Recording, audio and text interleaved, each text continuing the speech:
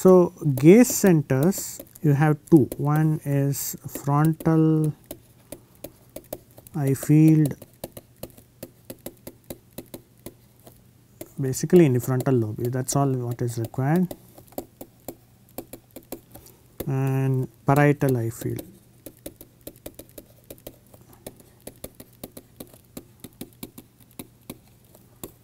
Parietal lobe.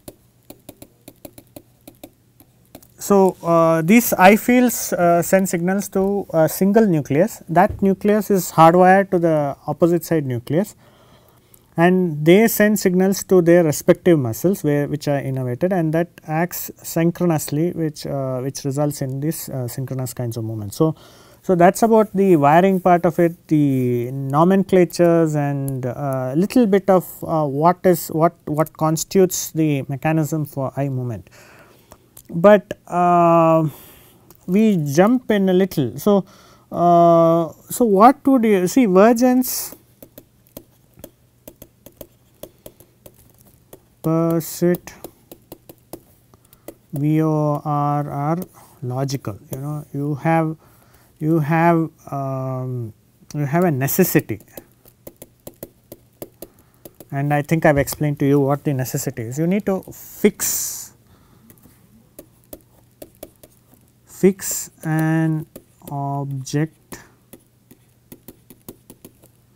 to the fovea you know that that is the function which is being implemented. You ensure that the uh, the light from that particular object is always falling onto the fovea and that is how you get uh, attention.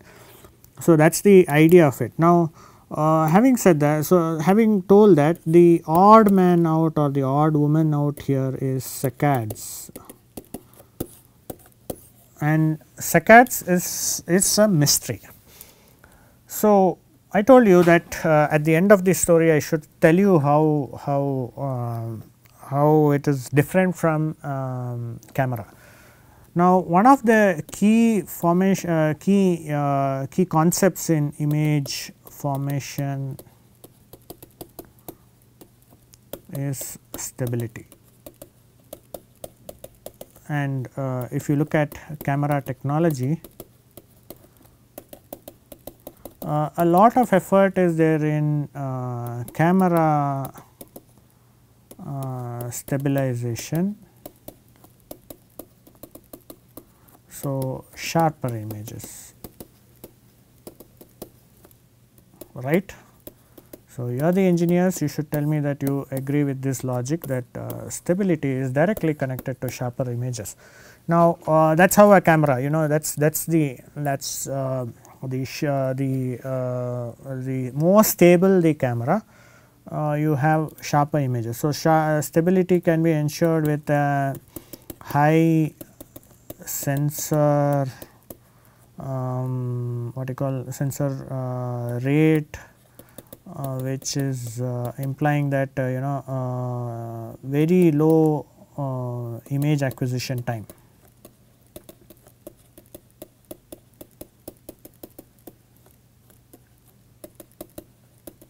right. So, you have a high sensor rate you know you have very small durations of exposure by which you capture that and so that is uh, that causes a, reduced image acquisition time. Uh, then you have uh, image stabilization.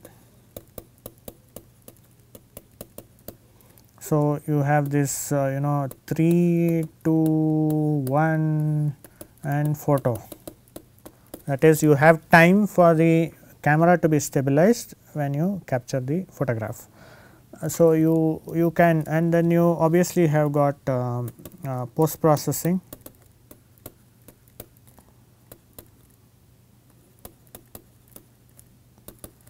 after capture after capture of the image.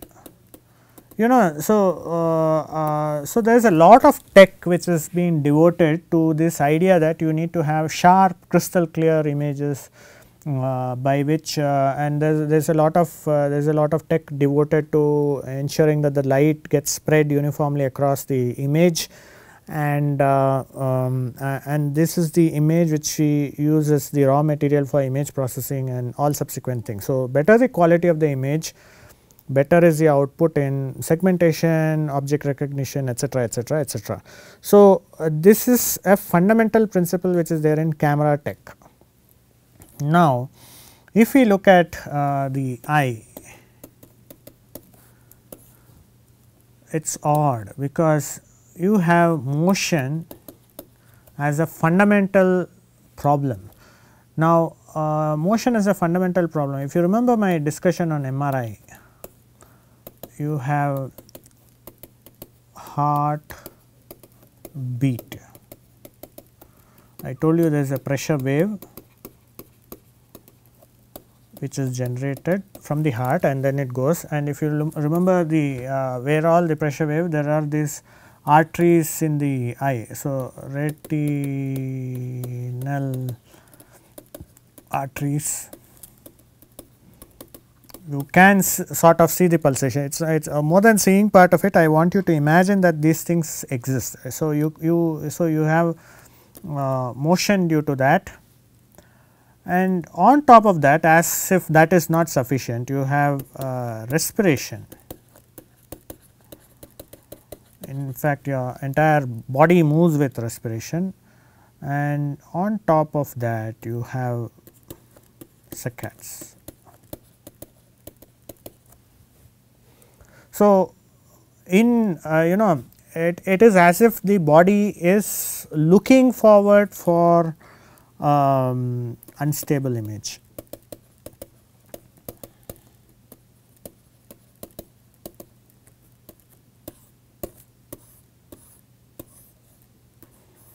So, somehow the body conspires that you have an unstable image uh, having said that the term image itself is in question because of uh, things which I have discussed in my earlier classes. So, there there is an uh, there is there is there is uh, there is this notion that Uh, human vision is not uh, is not uh, you know uh, is, is, is completely different from camera based vision image based vision and you know video vision. So, when we saw our earlier diagram that uh, you know saccades uh, saccades help in uh, fixing from one object to another object which may be uh, face, uh, there can be an object. So, uh, so this is uh, you know this is this is what the saccades saccades do. So, what it means to say is that we almost never have an image neither in the eye nor in the brain. So, there are these uh, fleeting glimpses of the uh, entire uh, environment, a part of which is captured through saccades. The saccades sort of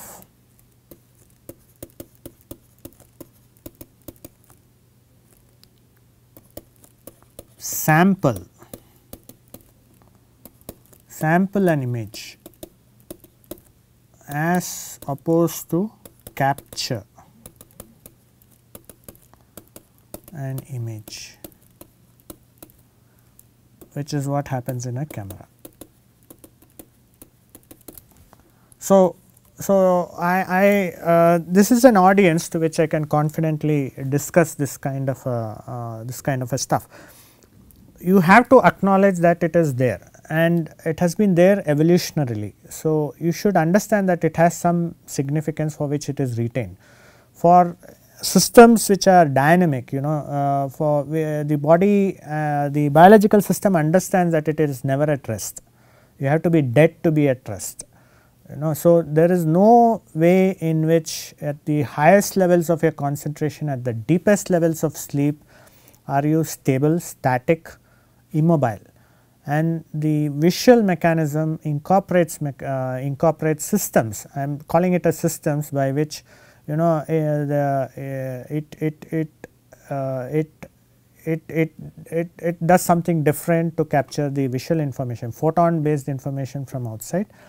And this information is what we use for majority of our work and uh, that is something which I wanted to highlight. So, the term sampling of an image is, is something which I need you to take forward. People who are interested can work on it and if you remember somewhere before in my prior class I had used this keyword Nobel. So, uh, why it is a keyword is uh, now I think you can understand. So, for people who are familiar with image processing, people are familiar with camera tech who have an idea of how camera tech works, uh, the gyroscopes to stabilize cameras and you know the so fancy cameras which are there, uh, they would understand uh, they would need meaning they would I hope they understand that the uh, eye human eye or the biological eye works on very different mechanisms very different principles and it is a very effective image processing system. So, image processing in the uh, in the biological concept is not just about capturing images and getting shapes, segmenting, uh, feature recognition and comprehension of the objects. It is a different ball game altogether. So, it is it is uh, it's at uh, it's at various levels. I think I will muddle it a little more now, we look at uh, a very related topic of uh, 3D object perception.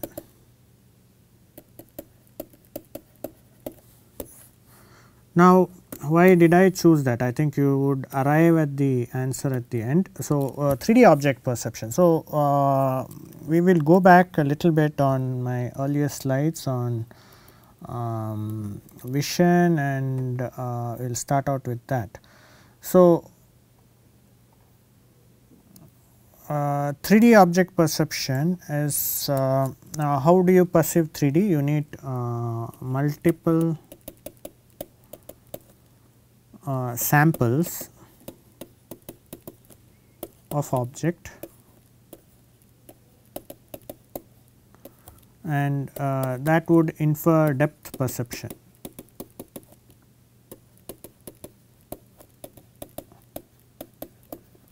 Right. Uh, so, you uh, what I mean why I use the term multiple samples. So, you have two eyes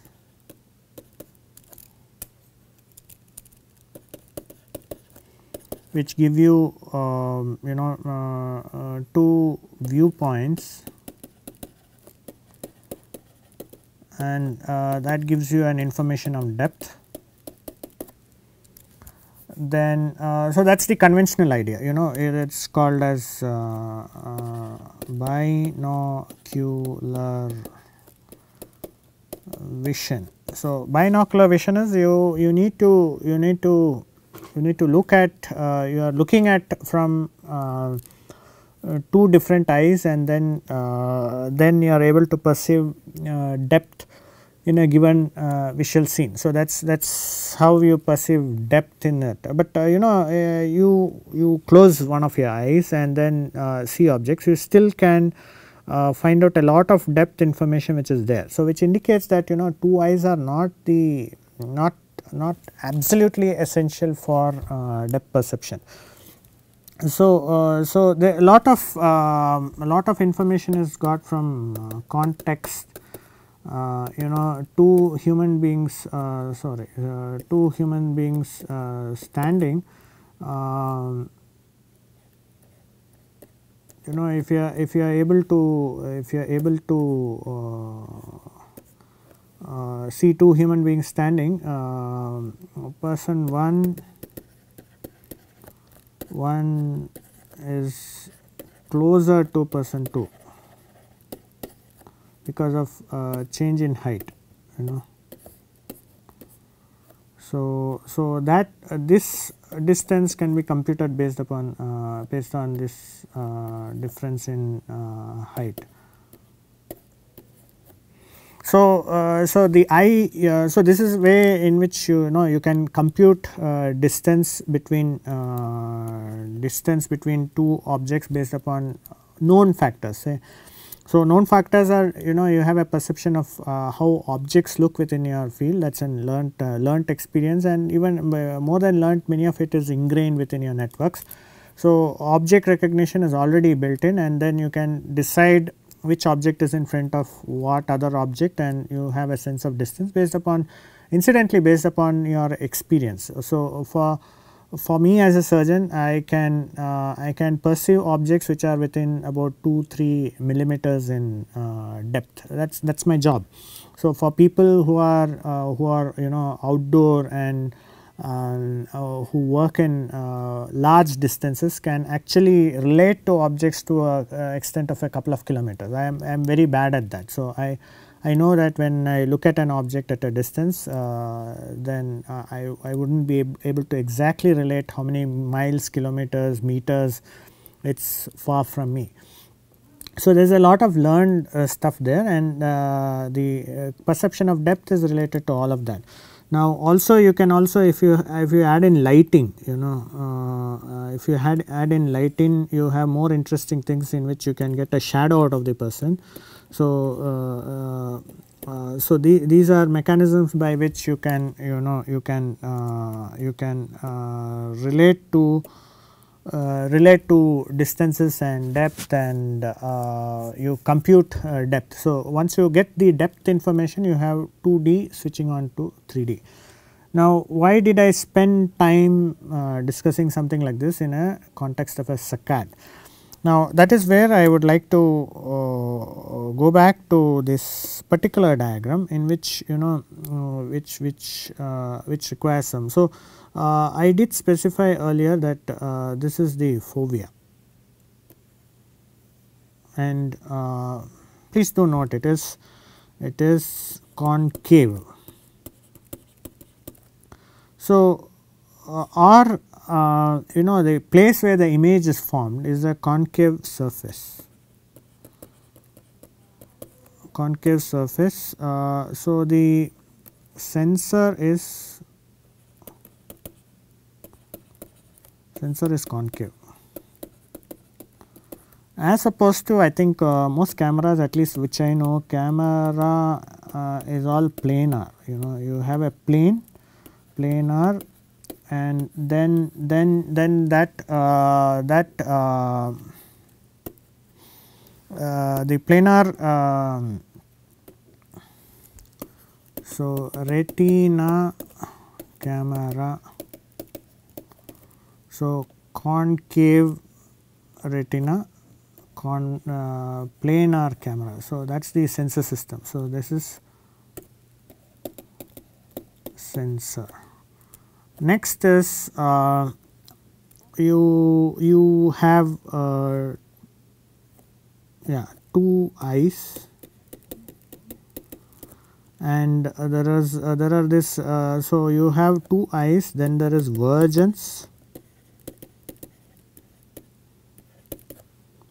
none of these things are there. No in camera. No you you don't have uh, uh, you do have uh, two camera and three system, uh, three camera systems. Uh, but uh, say for example mobile in which it is sort of better to extract the 2D information 3D information. But so for us we have retina you have a two eyes and you have vergence which is a dynamic system by which you compute and then you have contextual. Uh, contextual uh, image context. Image context. I think that is the wrong way of putting it. Image context or more than image it is object context. That also is lighting form uh, shadows. Uh, I think uh, those from India please do look up at uh, Professor V. Ramachandran's work.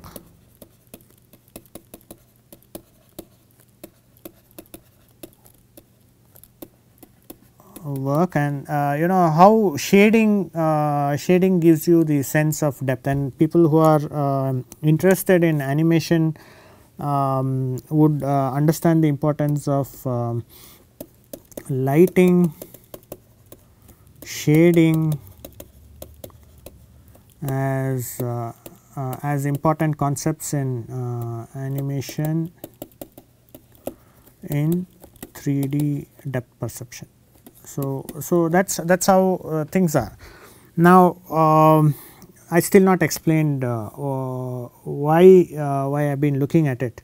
So, if we look at uh, saccades, so we come back to our original discussion saccades uh, and I did use this term of sampling.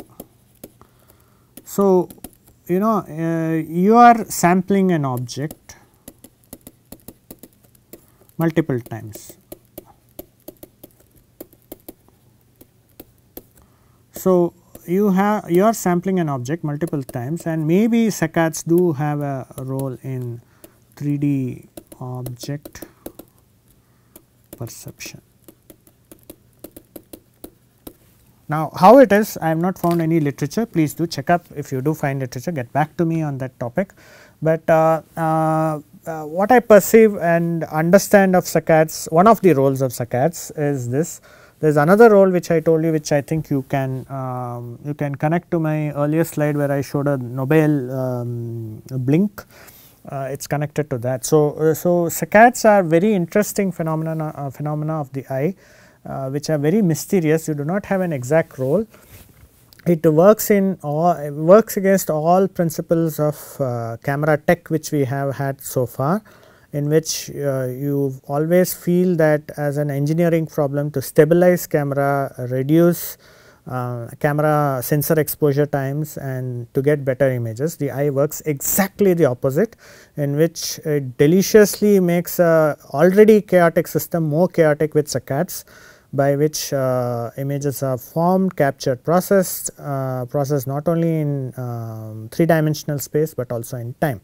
So, with that I leave you with a lot of food for thought and uh, food for thought to um, to understand what is try to understand what is happening. Uh, for those people who are research oriented, uh, there are very good uh, PhD problems listed all along the way in both uh, the vision part of the story, the movement part of the story, the depth perception part of the story. Uh, uh, why PhD problems? Because basically I am asking you to relook at the visual apparatus in a completely different light after having listened to my some 3 hour lecture on the visual apparatus in general.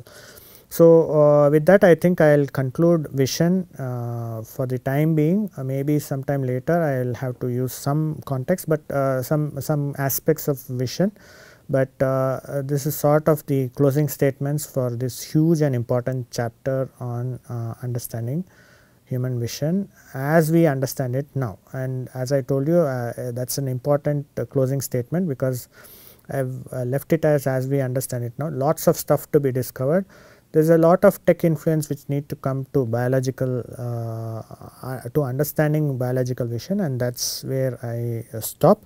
Please do contribute. Thank you.